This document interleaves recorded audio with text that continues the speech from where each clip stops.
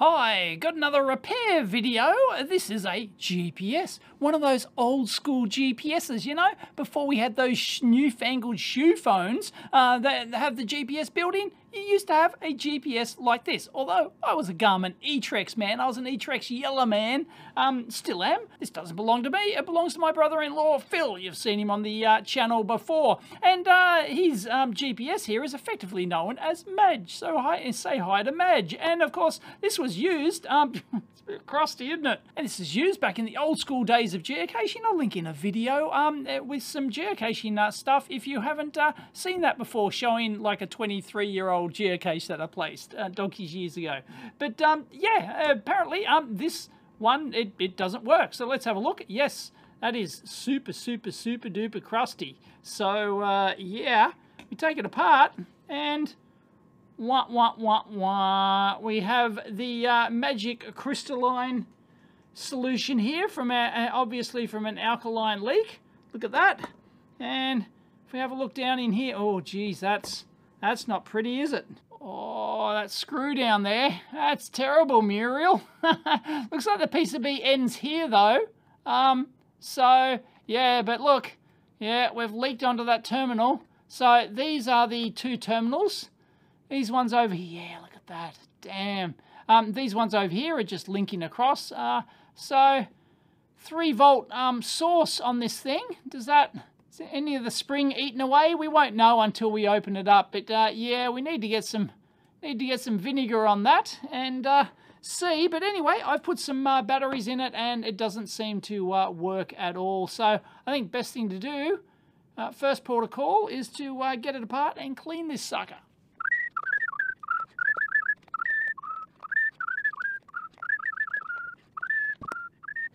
All right. Oh, that just pops right open and we're in. Nice O-ring seal around that. Okay, that's neat. We've got a uh, bare wire interface going over to our um, serial port on the back. And that would have been the way you get data in and out of this thing. Because you could use um, some old school programs like uh, Geocaching Swiss Army Knife, for example, GSAK back in the day. Is it still going? I don't know. Um, don't do that much geocaching these days. Anyway, um, oh, there's our little uh, helical antenna. There it is. That's great. So, uh, the board, there is a secondary board down here. Is that just a battery board? That could be good if it is. Uh, means you can take that out. Oh, oh, oh, what the, oh. Yeah, well, there's your problem. Um, yeah, actually the bottom, the bottom on those springs looks okay. So if we clean up that spring, we might be okay. But yeah, down, no wonder we're getting no power. Look at that. Oh, oh, look at the, look at this jumper over here. Oh, no. And down on the board, oh, geez. Oh, is that, it's not looking good, is it? That tiny little trace there, has that been eaten away? Oh, oh I'm not liking it. It's got a built-in card. Is that for like maps and stuff? I, I can't remember this particular model because uh, I wasn't a uh, Magellan man. Although at the time I was working at around about, you know, to the peak of, you know, the geocaching, the early geocaching days in the early 2000s, uh, I was working at um, Thales at the time and Thales actually owned Magellan. So I could have actually got um, staff discounts on Magellan GPS products. I, I, remember, and and they owned um, Thomson as well. Um, so I got a uh, Thomson TV. I got a staff discount on a Thomson TV. so staff, you know, like a company, you know, because a big global company owns a ton of stuff. They own Thomson, they own Magellan as well. Um, so yeah, I think they're offering deals on the Magellan uh, GPSs, and I got a big Thomson CRT TV. It was big widescreen jobby CRT. Oh, it was brilliant. Um, but yeah, that that was uh, uh, back then. The only choice was like gigantic CRT thing, widescreen CRT, or a plasma, and like plasmas were like massive and failure prone, and like yeah, they were just like and very expensive. So yeah, I got a good deal on so I went for the went for the uh, Thomson widescreen TV. But anyway, um, uh, bounce cap. What is a bounce cap? Do we bounce it? What do we do? It's a cap there for bouncing. if you have any idea what a bounce cap is, leave it in the comments down below. Anyway, um, yeah, so that's maybe the 5 volt rail there. Um, and anyway, we're talking 2001.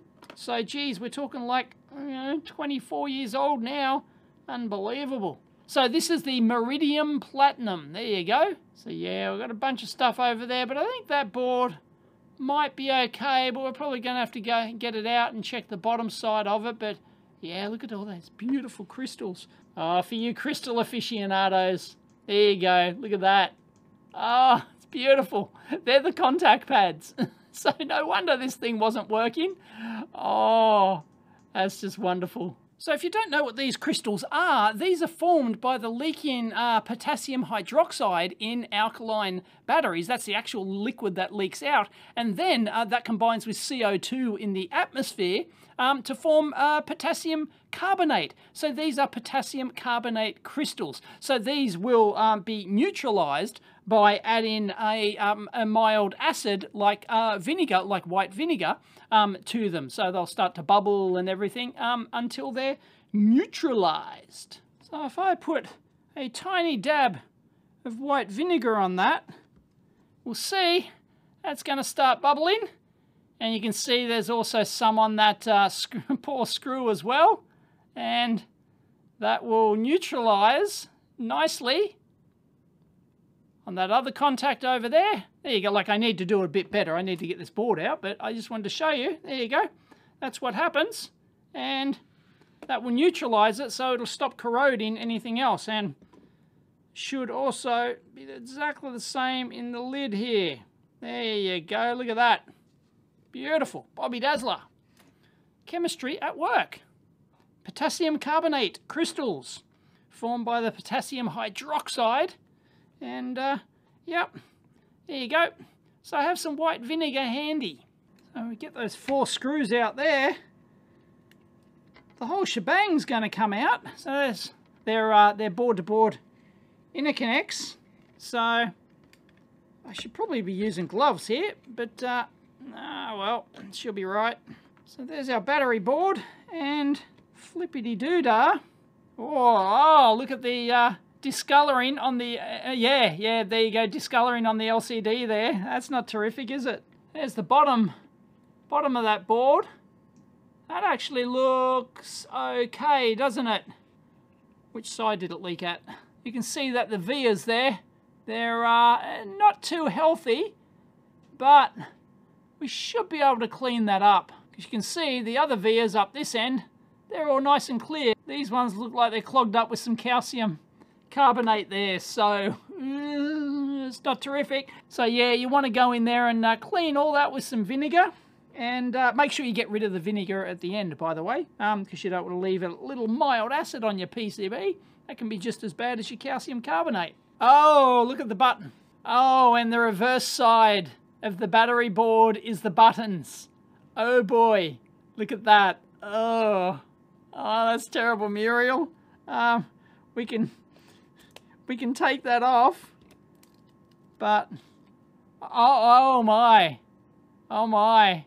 Yeah, that's not terrific, is it? that's like delaminated. Oh boy, nah, the further we go in here, the worse, the worse this thing gets, I'm afraid. So we can actually pull away all that. Oh man. So that's, that's not conductive. So technically, you don't really need it. Um, you're only looking at the contacts on the board and the conductive rubber baby buggy bumpers on the bottom there, they're fine. So as long as you can clean up that, um, yeah, you really don't need this that insulated uh, sheet back there, really. Actually, what what is that? There's two pads. No, this, why has it got pads on there? What is that? What is that doing? I don't know what that's doing. Yeah, these were conductive pads. Um, like, what? So what is that doing? I don't, I don't understand. Why, why would you bother having that? Um, because these are, these are dual contact. Oh, is that eaten away entirely there? Oh, this could be eaten away entirely. I think we've come, oh, yeah, oh, look. Wow, there's at least one trace there eaten away entirely. Oh, yeah, I don't like the idea of repairing this, given that's a 25-year-old GPS. Yeah, yeah, this board, look at that. Look, oh, that V is just horrible. I mean, like, you know, if you were desperate enough, you could repair, yeah, another track eaten away here, here. That V is, is that V completely gone? Oh, no, no, okay.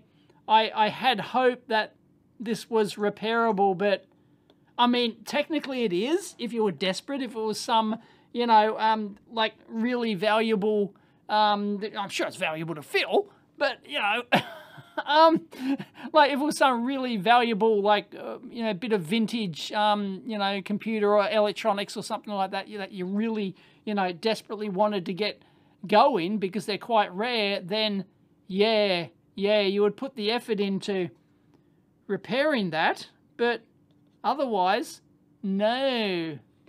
No, I'm sorry. And if we peel off that, we might find that there's worse to come under there as well. So I think this Meridian Platinum is uh, it's gone the way of the dodo. So I don't think I'm going to spend any more time on that. It's just, oh, it looked promising at first. I thought, you know, I could clean up those contacts, no worries, you know, and, and clean up the pins and stuff and the and the headers over here for the pins. And Bob's your uncle, but no, no, Bob is literally my uncle, um, but it's just not worth the effort. Um, sorry, Phil. Madge is dead. F in the chat for Madge. Catch you next time.